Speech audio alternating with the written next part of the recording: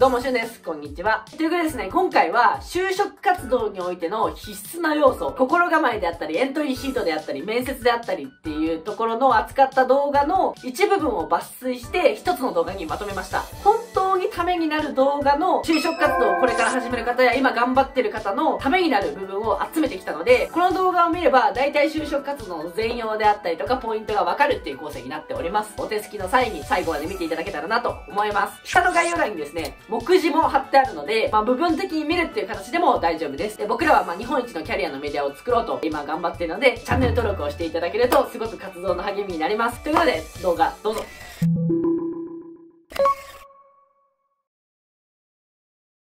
僕自身も焦りました当時。当時はま4月1日が解禁日とかでエントリーをとにかく上から順番に人気企業早くエントリーしなきゃみたいな感じで焦ったりしたんですよ僕も。で結果的に10年経ってみて思うんですけどあの焦りって本当に無駄だったなって思います。いや焦りますよね。僕自身も情報弱者だったし世間知らずだったしその就職活動で人気就職ランキング上位に入ることが一番の人生の成功だと思ってしまっていたので皆さんと同じように焦ってたんですね僕も、うんけどやっぱ10年経ってみるとなんて無駄なことをしたんだろうっていうふうにすごい思う。それは焦ったらなんで無駄なんですか？ストレス。無駄なストレスでそもそもなんですけど就職活動をするっていうことは金を稼いで生きるっていうたくさんある選択肢の一つであるサラリーマンとして雇われて生きるっていうことをしているに過ぎないことをまず理解するべきなんですね。だからそもそも人に雇われて働くってことが自分の人生にとって正解かどうかっていうのをしっかり考えた上でその選択肢をしてほしいと思う。それを知らずに就職活動イコール全員がやるもので就職活動は人気偏差値ランキング上位に入った人が勝ちみたいなっていうことは考えないでほしい。人気就職ランキング上位に入ればそれで人生成功だって思っちゃう人って結構いると思うんですけど、それは間違ってますと、はい、なぜなら就職活動してからもそこから人生がめちゃくちゃ長いんですね。でもちろん人気企業に入って幸せになる人もいるし人気企業に入ってもイメージと全然違って不幸になってしまう人もいるし頭がいいとか年収が高いって言われてるような企業ですらサボってるおじさんもいっぱいいるし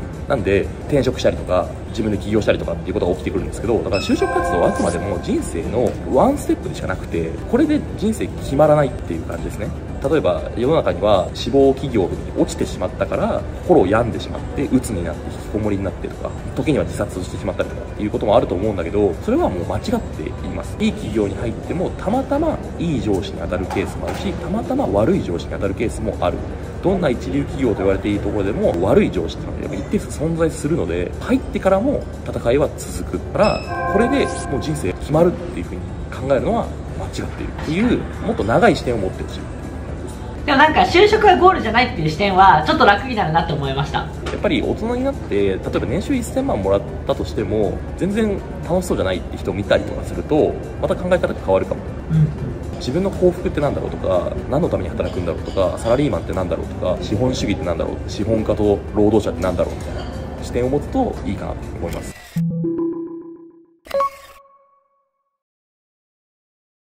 これだから就職ね2回やってるんですよ、はい、1回目全部落ちて沖縄でリゾートホテルでパラソルを指す係にだけ内定して、はい、でみんな高卒とかばっかなの俺わざわざ早稲田まで一浪して早稲田出てそこしか受かんないっていうダメ就活生だったからなんかその時ね嘘ばっかついてたの。要はちょろいと思ってて就活の参考書とか読むと何々をしてこのどん底だったチームを優勝に導きましたばっか例文で書いてあるじゃん、はい、あこういう嘘つきゃいいんだなと思って。だから全然誰も頑張ってないようなアマチュアのフットサルサークルなのに大会もちっちゃいなんかお遊びみたいな大会優勝した時のことを思い出してチームがどん底の時声を掛け合って優勝まで導きましたとか適当なストーリーを作って ES にも書いてなんか面接でも言ってそういうことばっかやって嘘ばっかついてたら全部落ちた。本当に全部落ちたんですよね。本当に全部落ちた。テレビ局とかそういった有名な大手企業にエントリーされた。基本そ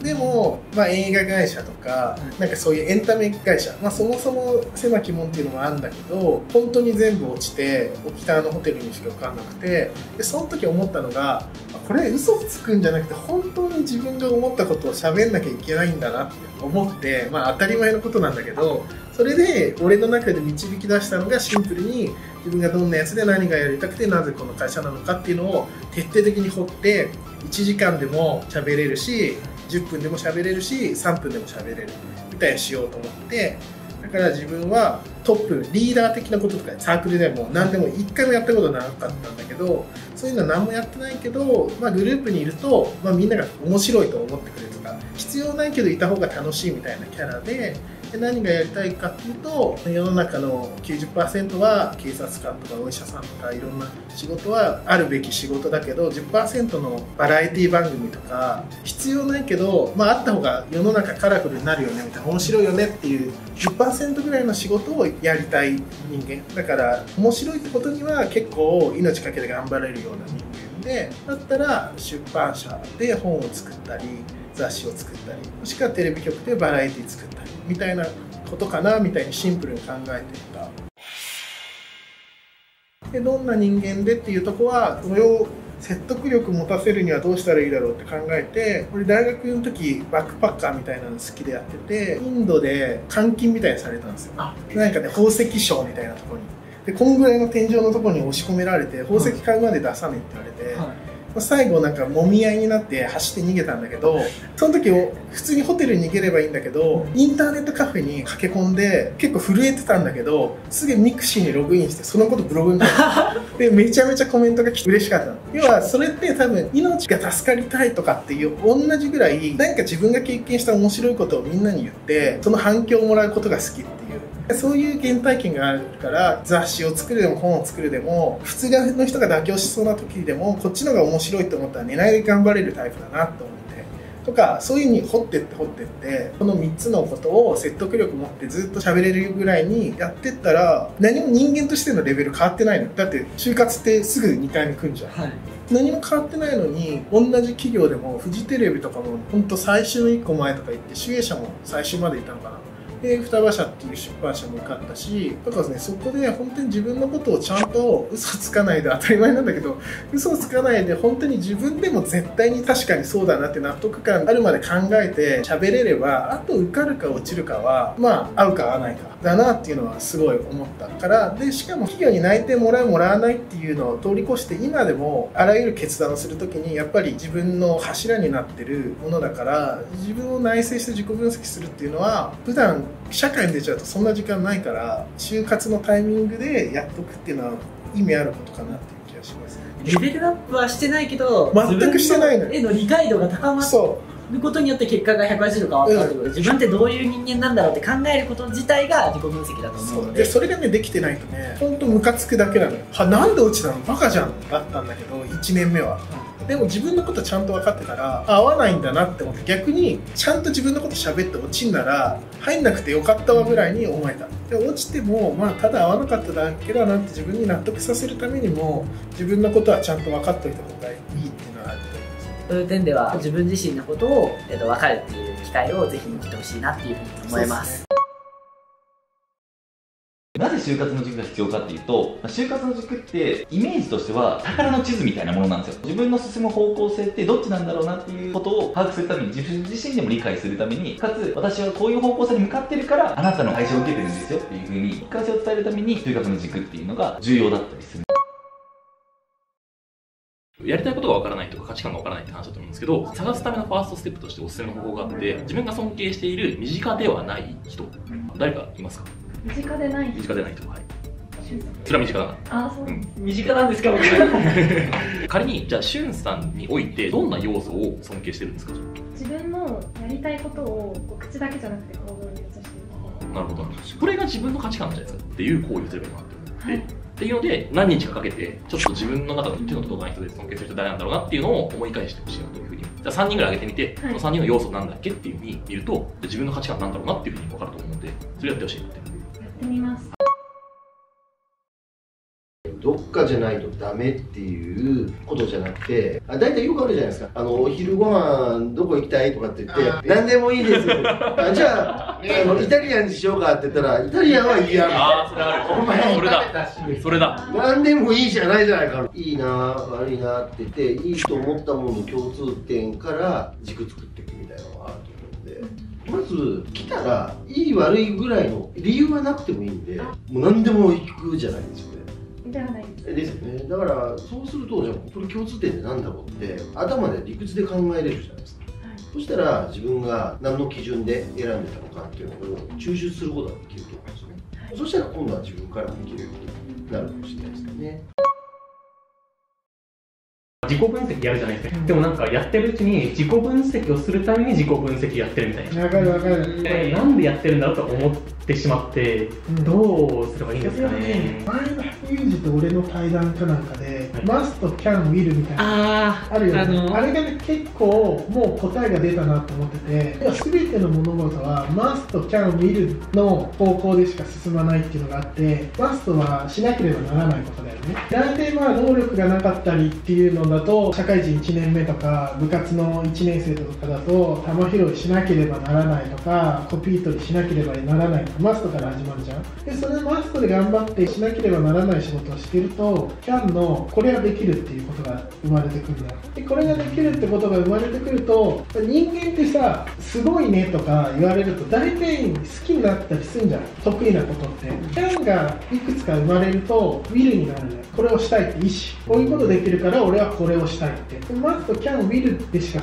進まないからそれを自分で考えてみるんだよね。マストは何かキャンは何かウィルがある何か。自分はウィルはないけどキャンはあるなとかウィルもキャンもないけどマストはあるなっていう自分の立ち位置が気づけてそこから階段登ってきゃいいんだから俺の場合就活でウィルがあるんだよね。マストもキャンもないのにウィルがあるって珍しいパターンなんだけど何もできないけどこれがやりたいとかでもそういう人は実は少数でマストだったらまず食っていかなければならないとかあるじゃん。もう最でそこなのよ。就活全滅しても少なくともバイトはしなければならないじゃん。でそういうマストから始めるかでもキャンがあれば例えばさ5カ国語話せますやりたいことないですでも多分それなりの給料もらえるじゃん。じゃあキャンが強いから。だからそういうので自分を見つめていく。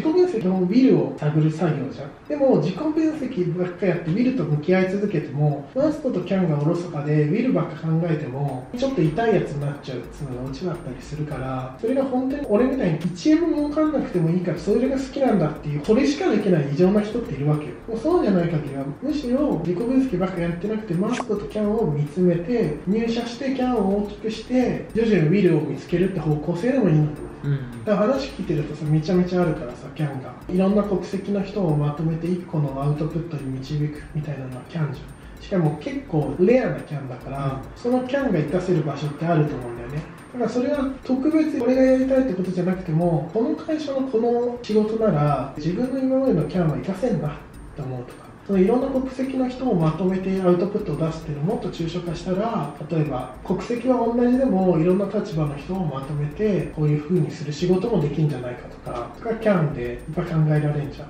自分のキャンを生かせる企業ってなんだろうって思うと全く活かせないとこもあれば国際的な企業の日本法人とかだと多分大事だしとかそういう風なのは活かせんなとか考えていけばいいんじゃないかな。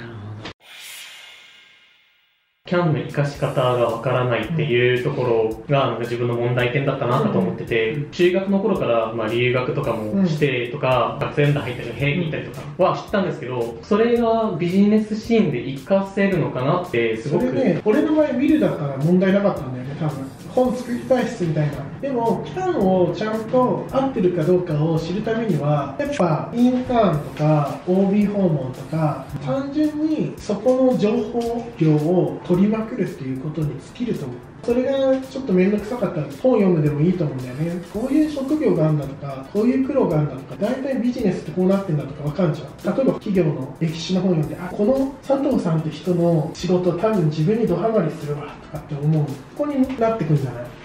だから俺だったらさそれこそ今の幻冬舎の社長の健丈さんの「編集者という病」って本とか読んでさ編集者でこういう苦労したとかでもあれって編集者になりたくない人が読んでもどんなブラックな仕事だよとか思う話なのでも俺はそれを読んだ瞬間うわこれ絶対俺向いてるって思ってしかもやりたいみたいな。だからそういうのを見つけるにはいろんな会社の成功伝とか、まあ、失敗伝でもいいんだけどあと人間の成功秘話とか本とか映画とか、まあ、話聞くとかあっち側の情報を持たないと多分想像しても無理だと思う、ビジネスを知って自分の経験のある程度再現性を持ったことが話せるような形になるといいのかなっていうふうに思いました。自分の中で行動の中でこれだけは絶対守るとは譲れないみたいなところだけ定めといたらいいんじゃないかなっていうのはありますけどねそれはマインド的な部分そうそう、まあ、例えば僕だったら、はい。分かりやすく言ったら他の人と同じことはやらないみたいな軸があったんです。根本の核のものって何みたいな。ところと会社がフィットしてさえいれば多分楽しく仕事できるんじゃないかな。ここがずれてると結構しんどいんでね。そうですね。うん。絶対に多分自分の中で譲れないポイントってあると思うんですよ。ね、なんかこれは絶対に就職仕事する上でも人生の中でも一つのまあテーマなのかわかんないですけど。でこれざっくりとでいいと思うんです僕の場合もそんな感じだったんで。だからそれだけを守っているとブレにくくなるかなっていうのはありますね。で何があってもそのルールは破ったらいけない。これ僕らはブランディングとかやってる中でまさに痛感するんですけどやっぱこう言ってることとやってることがずれてくるともうこれがつまりブレてるっていうことになってくるんですよね。すごい崇高な理念掲げてます。素晴らしいこと言ってます。でも行動を伴ってないって誰も共感するわけないんで、うん。はいだから1社目4ヶ月だけいたんですけど、はい。ここを辞めた理由は最後の4ヶ月目に社長がお客さんを騙せって言い出したん。です、いやそれだけは乗れんって言って辞めた。んで次入った会社はやっぱお客さんのためにすごかったしで今自分やってる会社はやっぱそこを一番大事にするんで、そういうのは多分あると思うんですね。そこだけずれてなかったらいいんじゃないですか最優先事項さえやってたらっていうぐらいでもいいかもしれない、あと自分のどこがじゃあ好きなのかみたいなことを聞いてみた時にそれが自分が別に売りにしたくないところが好きな理由だったら嫌じゃないですか。好き度と好きな理由みたいなのがこう自分でフィットしてるんだったら選ぶっていうやり方もありますよねでそうするとねなんか止められて入ったら活躍できる確率が高くて成果も出せたら褒められたりとか貢献できる感じができてなら徐々に好きになってくる、まあ、流れっていうのはよくあるパターンだと思うんですね、はい。動画を見てくださる人は就職活動生で、まあ、21歳前後ぐらいの人が多いわけじゃないですか。人生で悩むのって実は就活じゃないんですよ。実は20代後半なんですよへざっくり言うと278,9歳ぐらい。が超人生悩むんですね。何かっていうと俺の人生このままでいいのかなっていうのをめっちゃ悩むんですよみんな。そうなんですでねなどういう構造になってるかっていうと大体223歳ぐらいで就職するじゃないですか、はい。3年4年5年ぐらいやってるとやっぱり同じことの繰り返しになったりするんですよ。職場と取引先と自分の家と近所のスーパーと近所のコンビニ。だけで世界が完結してしまうへえなんかうまく回るんだけどこのままでいいのかなっていう疑問を持つんですよ人生。でなおかつ同年代の人たちが例えば会社を上場させましたとか会社を売却して10億円入ってきましたみたいなニュースがポンと入ってきてとか、まあ、スポーツ選手で同じ年ぐらいの人が例えばメジャーリーグに挑戦してみたいな同い年なのに俺はこのままでいいのかなっていうふうに疑問に思うのが30手前ぐらいです。じゃあ豊丸さんそろそろですね。いやーでもめちゃめちゃ終わります。みんなそう。へー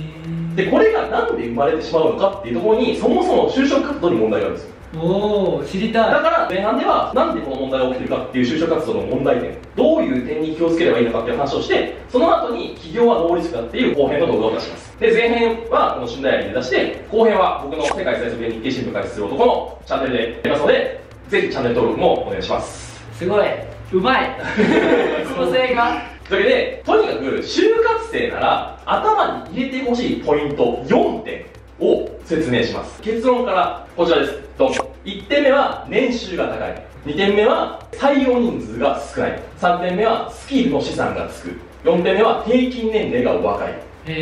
この4点のうち理想は4つとも満たしている企業に就職してもらいたい。ダメだったら3点満たしているところに就職してほしいっていうのが今日のメッセージでございます。これだけをとにかく伝えたい。すごい。聞きたくなる楽しみ。楽しみ。聞きたい。じゃあまず一つ目。年収が高いっていうことに関して説明します。もちろんお金欲しいですよね。ちなみに僕もやっぱ裕福な家庭の生まれじゃなかったんで就職活動はやっぱり年収がめちゃめちゃもらえるところっていうのを限定しました。もう年収お金が欲しかった。気持ちいい。めちゃめちゃ正直。お金欲しいじゃないですか。僕高校の時もビ,、まあ、貧乏だったんでみんながパリマートでみんなファミチキ食うわけですよ。僕ファミチキ食わなかったその130円でもたねえじゃんっていう今も言ってそうじゃん。それぐらいもうお金に関して親にね言えばもらえたかもしれないけど親に言うのが嫌で本当に1円でも迷惑かけたくなかった。だから全部自分で完結したいと思って生きてるんですけどそれぐらお金に関してものすごく僕は敏感なんですだから今こうなってるんですけどというわけで、まあ、お金は大事です要するに。で要はなんでお金が大事かっていうとお金の高いそれこそ人件費が高い給料が高いってことは要は市場からのニーズがあるってことなんですよ。で、例えて言うなら、10億円の利益を出したいと思った経営者が何をするかっていうと、年収400万くらいの人を、例えば20人ぐらいぐらい雇って、その20人で一気に営業かけるケースと、年収3000万出してでも1人雇って、その人がアルバイトを使って成果を出すっていうケース。で、これね、人数が多ければ勝つって話じゃないんですよ。モチベーションが低い20人が集まったところで、頭のいいモチベーションが高い人が1人全力を尽くしたら、まあ、勝てないんですね。要は、1人に3000万払うと得するケースがあるんですよ。だから、能力とモチベーションさえあれば、20人が多分なっても勝てないので、3000万もらえるんですよ、年収で。それぐらい価値が残せる。で、市場からの評価されてるっていうのが、一つのバロメーターが年収なんです。まあ確かに社会をにより貢献した総和の数値化したものですそうです、そうです。まあ、社会が求められてるってことですかね。要は、だからその能力があって、例えば2000万出してでも欲しい。で、2000万出しておけば、とどまってくれるけど、逆にこれケチって、例えば500万としたら、もうその500万じゃ無理だっつって逃げちゃうから。だから2000万出してでもとどまってほしいと。2000万出してとどまってくれれば10億円利益が出るみたいな。決算だったら2000万、3000万払うじゃないですか。だから、年収っていうのは大事。だから年収上がらない企業はもう受けない方がいい、そもそも。まあ、ただ一部のね、企業で、例えば発展途上国に工場を作って、発展途上国の何万人、何十万人って人たちの命が救えるようなビジネスもあるので、もう自分自身が年収200万、300万だろうと、そういうことをやりたい人はいるので、そういう価値観の人は、もうその道に振り切ってほしいなっていうふうに思います。で、そうじゃなければ、お金はすごく大事。だから、年収じゃないっていう人は間違ってると思います。こだわってください、年収は。グルって年収出てくる年収って、あまりあの信憑性が低いので、一番大事なのは、現役の社員に聞いちゃう。なので、まあ、大学の先輩を通じて紹介してもらって、この会社の社員に会って、実際、じゃあ、2年目の年収いくらでしたか、5年目の年収いくらでしたかっていうのをもう聞いちゃうっていう。で、聞けるぐらいの関係値を作るっていうのがすごくいいかなと思ってます。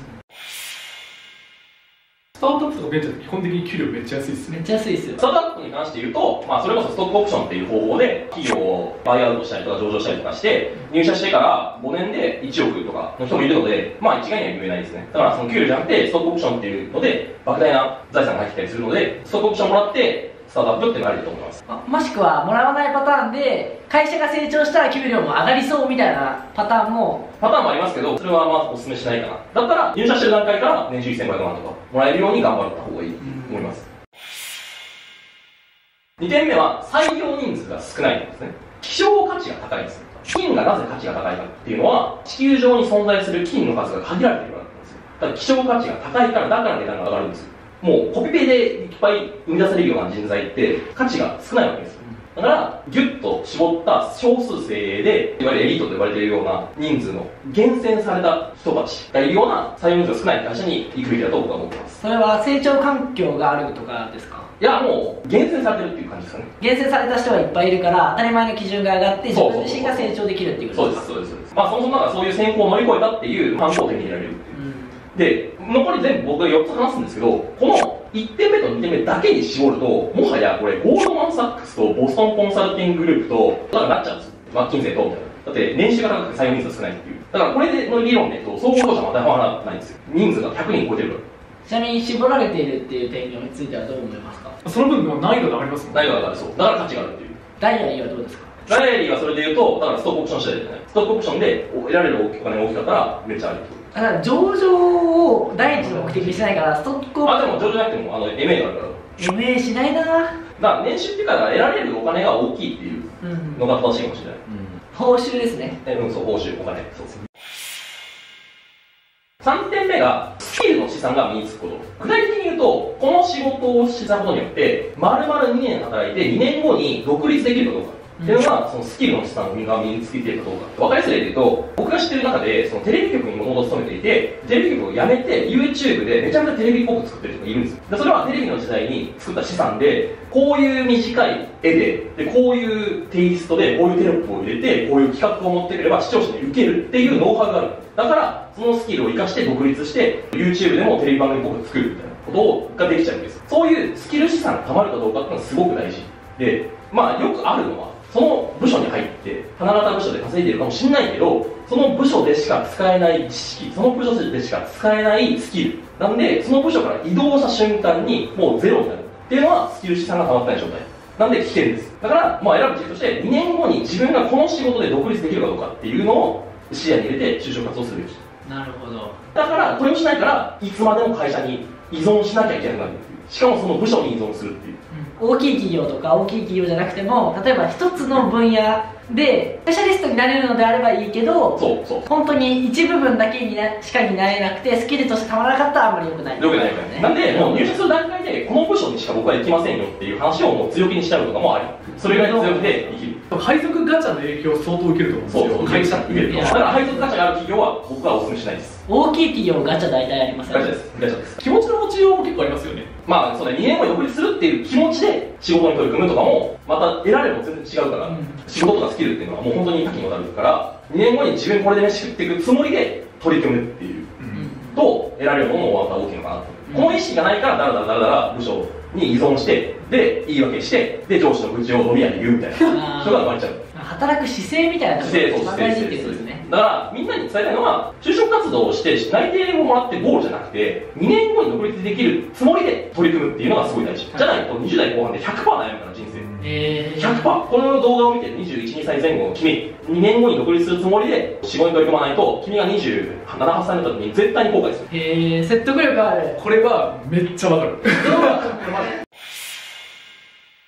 4 つが平均年齢が若いこと。なんでかっていうと日本の大企業って全て多分ねおじさん多いんですよ。もう全てです。全企業。超有名企業超有料企業。だとしても具体的に出しますけど僕はもうソニーって会社が超好きでで業績も絶好調で商品もバカ売れしていてもう世界中に展開してるソニーですら窓際族っているんですよ。それこそ某大手総合商社では窓際族にいる年収2000万もらってる人のことを Windows2000 って呼んだりとか。え これを言うとね、絶望しちゃうかもしれないですけど、頑張っても給料が上げ幅ってあんまないんですよ、日本の大企業って。良くも悪くも安定してる逆を言うと、ヘマをこいても別に言及そんなされないんです逆に言うと超頑張って、超利益出して、がんないですよ、年収って。ボーナスで年間100万上がるか下がるかみたいな感じなんですね。で、でこういう構造になってくると何が起きるかっていうと、手を抜いた方が得するっていう構造になっちゃうんですよ。ー、なるほど年収100万下がってもサボった方が得しちゃうんですよだからこの構造上どうしても日本大企業は50代60代っていうのは手を抜いてしまうんですよ。頑張る意味がないちなみにはい。らはい。僕結構おじさん好きなんですよね。なるほ大きい企業の中でもいわゆる決済権持ってる人ってやっぱ魅力的だなと思うのは要は自分で主体的に行動してる人も結構いるなと思って、はいはい素敵だなって思う方が多いので自分の会社とかでも年上の方も採用したいし一緒に働きたいなと思ってるんですけど、それだと平均年齢上がっちゃうじゃないですか、はい。そこら辺ってやっぱ人によるっていうことですかね。ど割合の問題、割合の問題確率論の問題でよく聞く話が2対8の法則ってあるじゃないはい。聞い働きアリが10匹いたとして2割のアリがめっちゃ働いて残りの8割はあんま働かない。で2割のめっちゃ働くアリが全体の8割の生産性を生んでいると。だから働く人とサボる人って絶対2対8になっちゃうだからもう構造上たまたま2の方を引けるケースもあるけど基本は8をサボると。だからもうそれこそガチャくじ運になるんですよ。でそれに気づいた優秀な2 3 0代はみんな起業するんですよ。あこのままこの会社にいてもみんな手を抜く4 5 0 60代になっちゃうから本当にエネルギーがあるならもう独立して自分で会社やった方がいいなっていう気づくのが大体30前後ぐらいなんです。へえ28位ぐらいで独立した人を見てあ俺もこのここにいていいのかって疑問を持ちながらもいやでも結婚して家庭もあるし子供も生まれたばっかりだし辞められなくて挑戦したいんだけど挑戦できなくてどうしようって悩むのが20代後半。あそうか結婚とか子供とかいたらまたしにくいですよね。みんな悩むんですそれでね。っていう相談がめちゃくちゃ多いんです。だからそれは就活の時点でさっき言った4点を注目してなかったからです。よで理想は4つのうち4つとも満たす企業が理想です。最悪3つ1個どっか諦めて3つを満たすよろしいですか？その今4つっていずれもかなり調べにくい情報だと思うんですけどなるほど南さんの考えとしてはそれはやはり OB 訪問もう社員に会うっていう感じです。もう社員に会うしかない。だから逆に言うと、説明会とかでこれこの情報出てこないっていう。実際おじさん多いよとか、働かない人いるよなんて言わないよ、絶対に説明会で。でもね、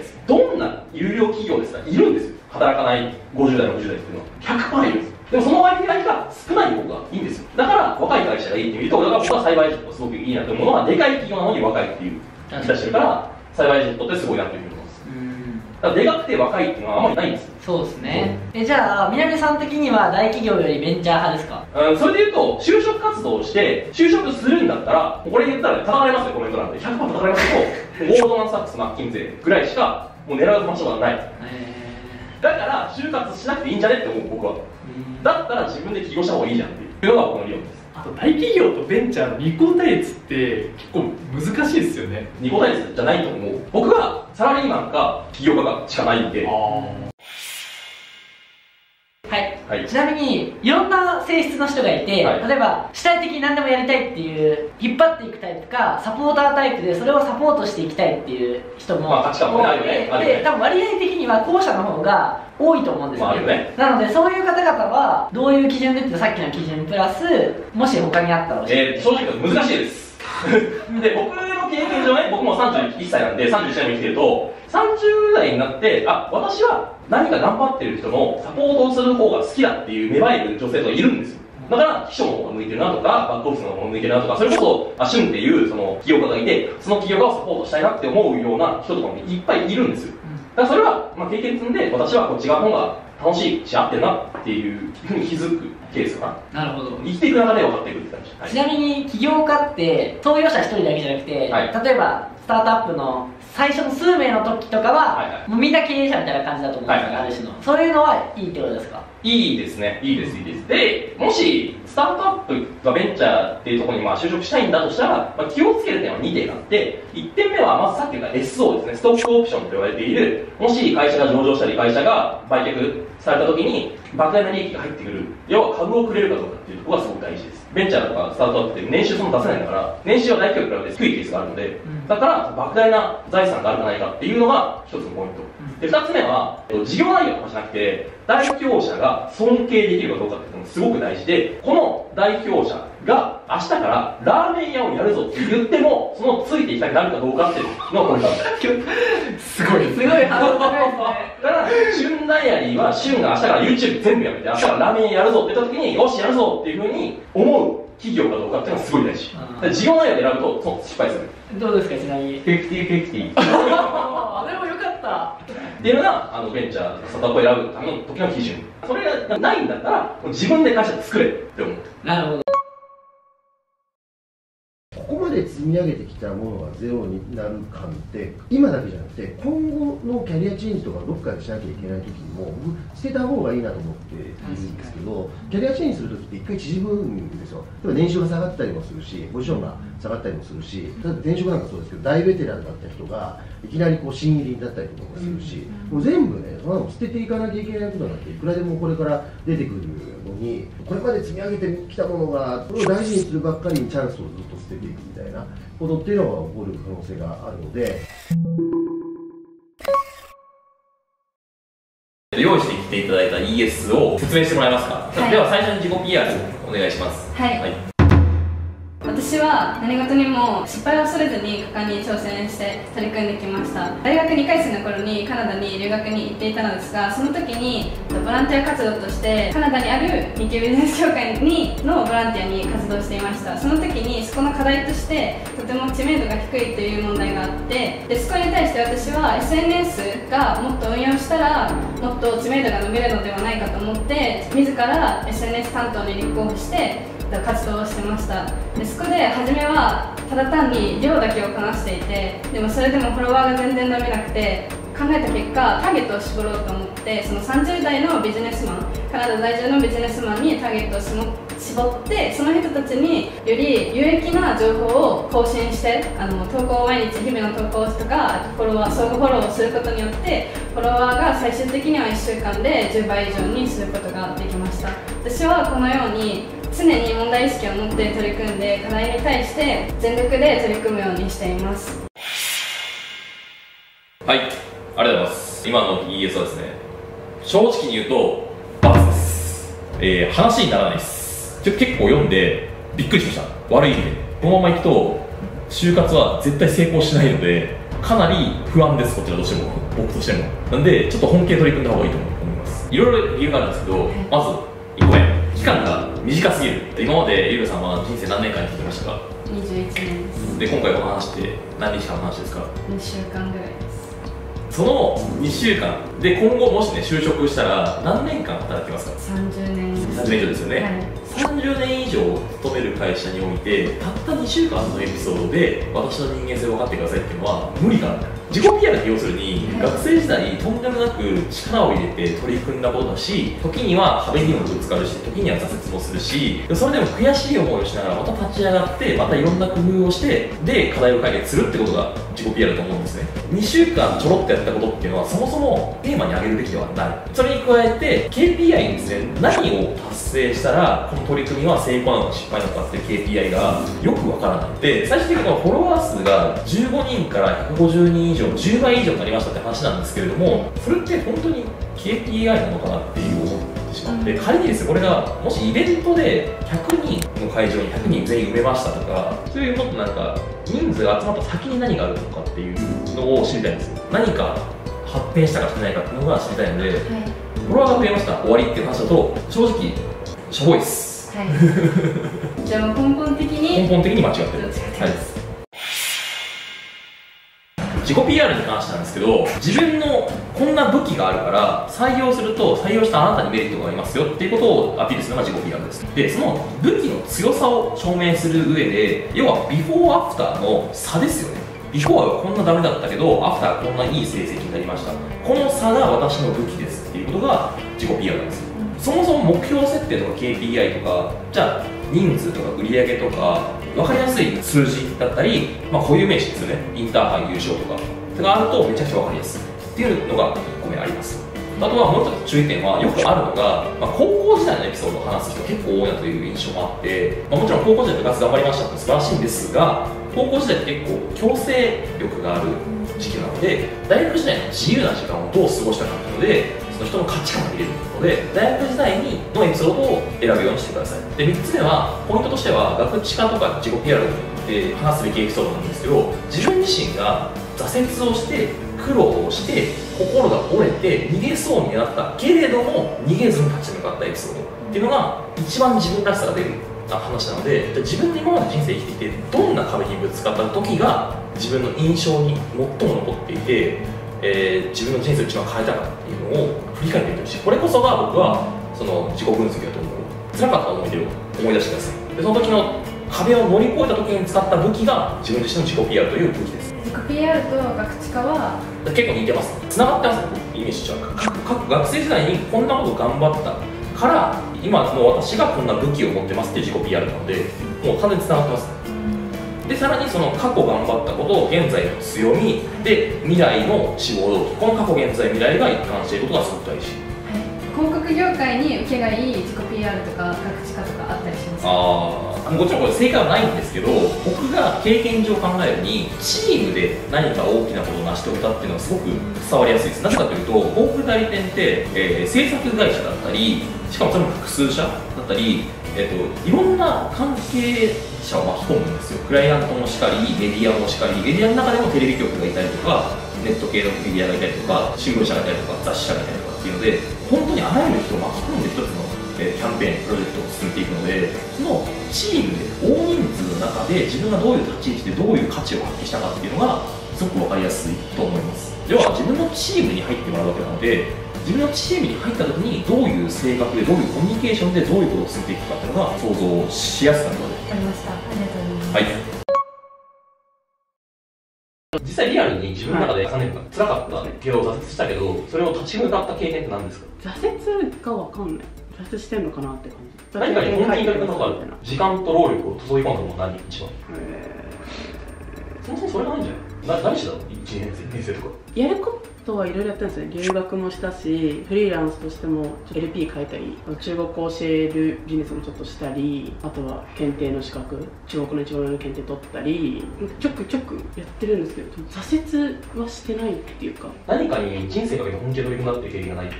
確かに人生かけて何かやってれば確かにないかもしそれじゃない？だから自信ないんじゃない？でもさそういう学生いないからもしあったら無双できると思ういろいろやってきたけどでも挫折とかめっちゃ辛い思いしてないなって思っちゃうんですよ。どうしよう？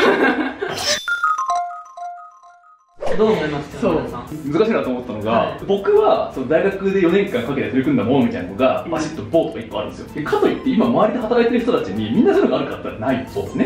でそういうのがある人の方が優秀かとか仕事ができるかとかそういうわけではないしで今僕がずっと考えてたのは仕事で求められることは必ずしも一言にぐわーっと全力投球するで壁を乗り越えるって話ではないのに ES ではそういうものが良きとされる風潮はこれはどう捉えたらいいんだろうなと今僕は考えてましたまあ短い時間だからじゃないですよ。もう就活っていうのが10分とかってさこの人間性を伝えなきゃいけないから10分っていう意味で言うとワンエピソードしかないわけじゃん。だからそうなっちゃう構造的に。まあまあそうですね、ちょっとでも今話伺ってる感じだとそのなんか LP 作ったとか、資格取ったとか、あの中国語の教えるビジネスやってたとかいう話からいくらでも作れそうですけどね。挫折経験ですか？あそれ挫折したことを教えてくださいって説問があるんですか？もうあります。てか答えるんだからもう3年間の中でもう相対的にこれだっていうまあ一番頑張って話せるだろうみたいな。まあ分かりやすい例で言うとまあ時間を使ったものっていうのは。いろんな人事の人から聞いて多分挫折したものは正直何でもよくて、どう乗り越えたかのその乗り越え方の考え方とか、具体的に実行した実行力あるのかとかが見られてる気がするから、若干エピソード弱くても全然いい気がします。まあそうだね。体現性があるかないか。要は入社した時にどういう行動するかを想像したいわけですよ。その時も想像してもらえればいい。想像してもらうっていうのが目的だから。入ったらこういう行動しますよっていう。わかりました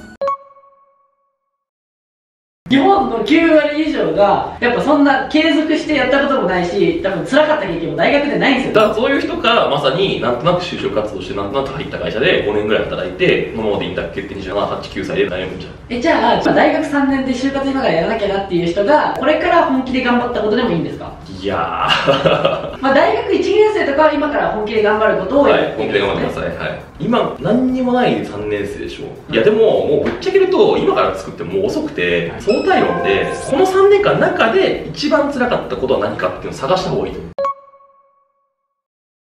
落とされた企業にフィードバックいただいたんですけど、そこに自分の売り方が弱いとか、アピールの仕方が弱いですって書かれていて、なるほどでも弱いって言われたから乗らなきゃ乗らなきゃってなってるんですけど、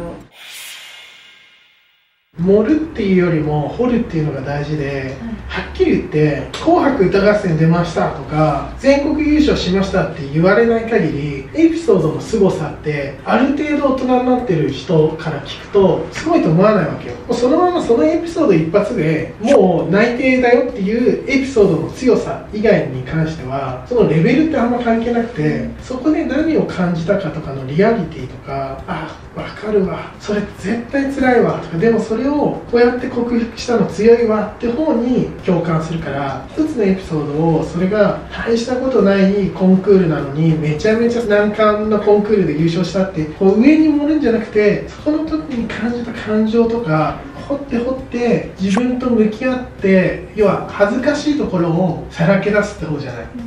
グループをまとめるときにみんながなかなか協力してくれなかったところをこういう風にして力を合わせて成し遂げることができましたっつうとなんかよくある話だなと思っちゃうけど例えばそれを嘘ついちゃダメなんだけど自分が全く LINE を返信しなかったことにより自分だけグループを外されましたとか言うと一番言いたくないことじゃん。なんならそれでこいつダメだなって言うと落とされそうじゃん。でもそっちの方が一気に引き込まれるよね。でみんなぶっちゃけそんなことがあるから、あなんか本当のこと言ってんなみたいな。で完全に自分だけグループから取り残されたんですがそこで今までだったら逃げてたところを実際一人一人に会いに行って話してみたいなまたグループに戻させてもらってそこから反省して誰よりも早くレッスンをするようになってみたいに言うとああなんかそういうなんか一回人間関係ではみ出たことを経験してでも一回受け入れてみんなの輪の中入ったっていう経験してるやつは強いなとかって思うよね自分の本当に辛かったこととかをさらけ出すと本当だなって思うみたいな。なんかすごい嫌な言い方なんですけど、面接官ってやっぱり聞き飽きてるんですよ、綺麗事。社会貢献したいとか、すごいいいこと言うんですけど、なんでそう思ったのかっていうところがなかったりとかすると、やっぱその悔しさだったりとか、その自分って嫌だなみたいな感情から生まれた感情って結構強かったりするじゃないですか。だからそれがあって、自分はこういうことがしたいんだっていうところが見えないと、ただ綺麗なこと言ってるだけの人になっちゃうと、無造無造なく埋もれちゃうと思うんですよ。なんか自分が本当に体験したこととか自分が嫌だなって思ったこととかをちゃんと認識して自分で覚悟して変わったんだっていうところを見せた方が結構伝わりやすかったりはするのでやっぱ自分が原体験として何やってきたかっていうところをちゃんと整理してもうちょっと深掘りした上で、えー、とまとめてお伝えをした方が私は響くようなメッセージになるなっていうふうに思いました。かね広告業界を志望する理由を教えてください。はい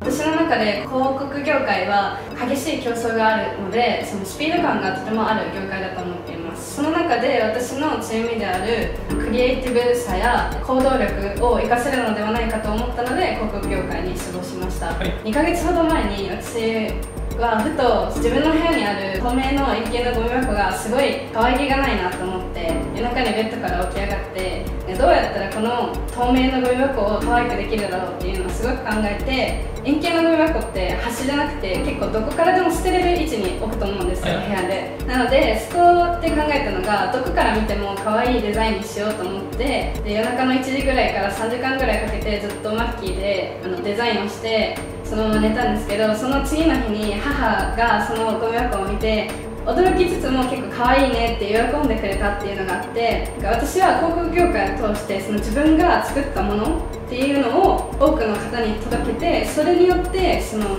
特定多数の方が幸福度が高まるのではないかと思ってそれに私はすごい価値を感じているので私の強みであるクリエイティブさと行動力っていうのを生かしたいと考えています。はいありがとうございます。質問を続けてしまうんですけど、はい、じゃあ今の話を聞くと広告代理店よりもメーカーの商品企画部の方が合ってると思うんですけどなぜ広告代理店なんですか？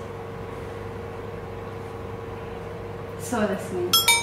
メーカーの広告商品企画部の方がこのデザインのご評価の方が売れるよっていうのが決められると思うんです。逆に広告代理店はクライアントの意向でこれが絶対いいんですっていうふうに言われたらもうやっぱりそれは尊重するケースの方が多いのでもちろん広告代理店としても意見することもありますけれども、はい、今の話だと、はい、メーカーの商品企画部。それで言ったらその他の自分の性格として求められているものに対して答えを価値提供したいと思って例えば誕生日プレゼントであったり友達とか知人の行動を見てその人が求めているものを渡すとかその人がも、うん、喜びそうなものを作るということが好きでそれでもメーカーメーカーの人は世の中の世間の生活者の皆様を喜ばせるという意味では今の誕生日の企画をして人を喜ばせるっていう意味では、メーカーの商品企画でもそれができます広告だとそのクライアントが求めるものそうに近いですね確かにはい、今の志望動機は×です。えー、×です。はい。正直本当にこれ本当真剣に話にならない。結構読んでてびっくりしたし聞いててもやばいなと思って悪い意味でやばいなっていうふうに思いました。で本当に真剣に取り組んだ方がいい。なぜか分かりますよね。それだったらメーカーでいいんじゃないっていう。あいつがねもうね弱いです。志望度がまあある意味恋愛と同じなんです就職活動って恋愛ってスマートでかっこよくて高収入っぽい人だけどなんか好きだよっていうのが薄っぺらい人 A 君と B 君はなんか全然しべたで下手くそだけどものすごい愛が伝わってくるって人。この A 君 B 君どっちと付き合いたいかどっちがと付き合いたいですか？B です。B 君ですね。だからだから下手くそでもいいから本当に好きなんだあなたじゃダメなんだっていうふうに言うのすごく大事なんです。相手も人間なので嘘じゃんって思いながら聞いて聞いてるっていう、はい、感じでした、はい。はい、でそれをお教えするための一つの方法があってそれは社員訪問ですね。この ES だと別に広告代理店 A 社 B 社 C 社どこでもいいじゃんっていうふうになっちゃって全部に使えますじゃん。そこで差別化するのはやっぱ社員訪問例えば A 社に社員3人に訪問して3人とももちろん性格も年齢もバラバラだったけど芯心の芯として大切にしてるものは同じだったっていう共通点を見つけるとかその心の芯の部分が自分の軸と一致してたのでこうやってやりたいと思ったっていうふうに言った方が具体的だし雰囲気感出ますよね。なおかつ地方だったらそれをわざわざ東京に会いに来て例えば5人に会いましたとか言った瞬間にあそんな大変な思いをして5人に会ってすごいねっていうふうになるんですよね、だそれこそ下手くそでもいいから情熱を伝えるっていうところもし本当に本気ならもっと社員訪問をしたりとかしてほしい。でもっと具体的なエピソードを使ってください。で例えば A 社 B 社 C 社ある時にコピペで絶対使えないようなこの A 社だったら A 社にしか使えないようなものを用意するようにしてください。行きたい企業とか業界ない人がほとんどだと個人的には思っててそういう場合の志望動機ってどうしても弱くなると思うんですけど、はい。そういう場合どうすればいいとかってありますか？シンプルにまずは人に会いまくれっていう話で人に会わないともう分かんない説明会とかって本当に表面上の話しかしないので社員と会ってください。社員と会う方法は大学の中にいる1個上2個上の先輩で仲いい人いるじゃないですか。まずはその先輩から紹介してもらって数珠つなぎに進んでいくのが一番いいあそれも一つの問題でそれ自分の先輩でその会社に行った人がいなくて。あアルバイトとかしてないですか？してます。違う大学とか絡む機会ありますよね。ありますあります。同じ大学じゃないといけないっていうのは幻想なんで関係ないです。だって僕東京理科大学なんて僕博報堂いたんですけど博報堂に入社しても3年に1人とかでしたよ。ああなるほど。関係ないです。あちなみにおすすめの方法があって会社ホームページ調べて役員の名前とか出てるのでそれコピペして Facebook で調べてメッセージ送ったら大体会います。そうなんですよ。これね本当にそうなのにみんな絶対にやらないんですよ学生。99.9%はやらない。やっぱマインドを変えてほしくて自分の人生かかってますよね。そうですね。自分の人生かかってるんだったら必死になってください。プライドなんていらないです。別にメッセージを送って無視されても断られても何かダメージありますか？被害に被りますか？100万円払って言われますか？やれないです。何も損がないんです何も損がないのにそれをやらないとおかしいんですよ。そうですね。だけど99.9%の人はやらない。伝え方と本音ってまた別の話で、自分の気持ちをちゃんと伝えて御社にも興味があって実際本当に4社で悩んでます。とその中で意思決定に足る要素っていうのがこういうのが足りません。だからこそ情報を欲しいですっていうことをちゃんと伝えれる人間の方が欲しくないですか、魅力的です、そうそうそうそうそうそうそうそうだからビジネスパーソンとして欲しいと思えるかどうかっていうのもそこで見えるのでコミュニケーション次第で受かるにもつながってくるし選ぶにもつながってくるってことかなと僕は思いますただ伝えるだけじゃなくて一社決められないですっていうとネガティブですけど、いろんな考えがあって決めきれてないっていうちゃんと意図とか自分が悩んでる背景とかを伝えれば捉え方によってはプラスに見てくださる企業さんもいるのかなって思います。そうです。むしろプラスにつながる方向に持っていくべきです。だから整理できているかどうかが最初に言った選ぶの観点の話がめちゃ重要だと僕は思ってますそれこそさっきの伝え方っていうところが詰まってるなというふうに思っていて、社会人になると分かりませんっていうことって許されないんです。よ。っていうのも分からないことが許されないではなくて分からないなりにどこまで調べてきたのっていうのがめっちゃ大事っていうふうになってくるんで、絶対ここじゃないといけないんですっていう理由がないとか、第一志望の理由が見つかりませんっていうことをそのまま言うとやっぱりネガティブになっちゃう、うん。まあそれを自分で考えてこれないんだ仮説持ってこれないんでっていうふうになってしまうんで例えばデジタルマーケの行く理由はこうは考えてるんですけどもこれって広告でもできるんじゃないかっていうところで迷っています、うん。それで御社で例えば過去にそういう広告系を迷ってる学生も受けてたと思うし広告系の企業ともビジネスしてると思うんでその観点について教えてくださいみたいな風に持っていくとなんかちゃんと考えてくれてるしちゃんと選ぼうとしてるんだっていうところでさらに志望度を感じる。第一志望ですっていう以上の志望度を感じるっていうところがあると思うんで企業からしてもプラスになるんじゃないかなっていうふうには思いますね。何に悩んでるのかっていうのを言語化多分してなくてただ全部行きたいっていうので思考を止めてたのかもしれないって思いました。これも絶対ここじゃないといけないっていう企業なんてないんでで企業も分かってるんですよ。うちじゃないといけないわけないよねって。ただやっぱりそこをちゃんとそうじゃなくてもいいし自分の人生どうとでもできるけれどもやっぱりそんないろいろ理由がある中であなたの会社がいいんですって言い切れる人が会社としては欲しい。それが辛いことがあっても入社をした後に大変なことがあっても乗り越えられる意志の強さっていう分岐点になると思うんでそれを聞きたいだけでやりたいことが見つからないどうすればいいですか？というような悩みなんですが、ね。それがまあ贅沢じゃん。大抵の仕事は死に物狂いでやらないと面白くも何にもなんないから、ある程度期間決めて死ぬ気でやってみるってことだよね、箕輪さんは小学校とか中学校の時に死ぬ気で何か選ぶような経験ってあったんですか？サッカーにせよ受験勉強にせよ編集者にせよやるって決めたらガーってやるよね、うん。それこそ受験勉強とかも中高6年間勉強ほぼ全くやってなかったけど浪人時代は実際はどうか置いてて俺が一番日本で勉強してんじゃないかなってぐらい過剰にはまってたし、編集者も最初の何年かは自分ではそう思うぐらい頑張ってたしだからでもそこで面白さとかその物事の本質に気づいてハマってくって感じなんだよね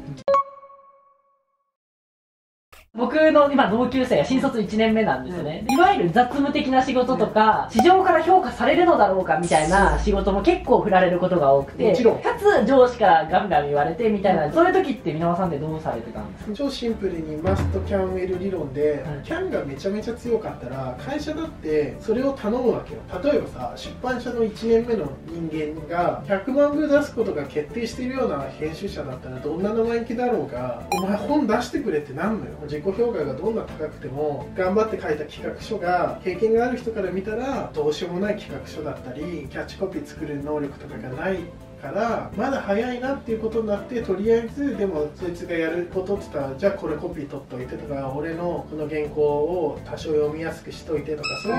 雑用になるわけじゃん。それはやっぱりしなければならない。マストをやるフェーズってことだよね。そこに不満があるならキャンを示すべきだし、キャンを示せるのに評価してくれないなら堂々と俺はできるって言ってフリーになるなり起業するなり転職するなりすればいい。でも多くの場合自己評価は俺はできるって思ってるけど周りから見たらできるうちに入んないとかこれがやりたいって思ってるけどお前にはできないとか。そういうズレが不満になってるからそこをちゃんと客観的に捉えないとダメだよね、俺だって電話めちゃめちゃ取ってたしコピーも取ってたしそれこそさパソコンとかめちゃめちゃ苦手だったのよ、今もそうなんだけどアンダーバーとか打てないもん マジですか？アンダーバーって周りで出すに動いてくれる若いやついっぱいいていいなって思うかもしれないけど俺は当然そっちは死ぬほどやったら、そんなのやっぱマスとキャンを見るでキャンがない時はやるべきなんだよね。今のお話多分社会人123年目の方にすごい刺さったと思います。めっちゃ刺さったよね。刺さった？刺さりました ちょうど今日の悩みがあるって言って言ってたんですよね。そうそうそう。このインターンにおいてそう自分のやりたいこととやるべきことっていうのが違うっていうのを思ってて今の話聞いて今マストの時期なんだなと思いました。いやそうよ。そんなのね絶対あるよ。スポーツとかにもそうじゃん。リフティングも10回できないのにさ早く試合出してくれって言ってるようなもんでさまあそれリフティングできるようになってからにしてくんないみたいな。単純にそういう話だよやりたいこととかが溢れすぎてマストとキャンをみんな飛ばしちゃうんだよね。いや焦っちゃうしはい、いかがだったでしょうか？これからもですね、もっと面白くてためになる動画を本気で作っていくので、応援のほどよろしくお願いします。僕らも就活生のことを応援していくんですけども、僕らもですね、就活生に負けないぐらい頑張っていこうと思ってます。まあね、いろいろ大変なんですけどね、6月末までに10万人行きたいなと思ってます。うん。わかんないけどね、いけると思ってます。まあ、10万、30万、100万であったりとか、会社としても世界で戦える会社を作ろうと思ってるので、本気で頑張ります。ということでですね、皆さんのですね、コメントとか視聴してくださるっていうのが本当に力になるので、これからもぜひよろしくお願いします。ありがとうございました。じゃあな。このチャンネルはキャリアの選択肢を増やし踏み出す一歩を応援するというコンセプトで運営しています。就活生が抱えている情報機会行動格差を動画を通じて解決していきます。今後も面白くてためになる動画を出していくのでよかったらチャンネル登録お願いします。また動画に出てくれる就活生や一緒に働く仲間も大募集しています。気軽にご応募ください。ありがとうございました。